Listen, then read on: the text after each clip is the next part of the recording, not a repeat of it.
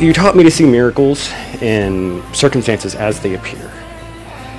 For those reasons and so many more, I pledge and vow that I'll never hold any concern above yours. To protect you and Carter from any harm at any cost, to ensure a ready access of Dr. Pepper no matter the circumstance, to perpetually give you the benefit of the doubt so that I may see you as you are. And I will endeavor to know you better every day.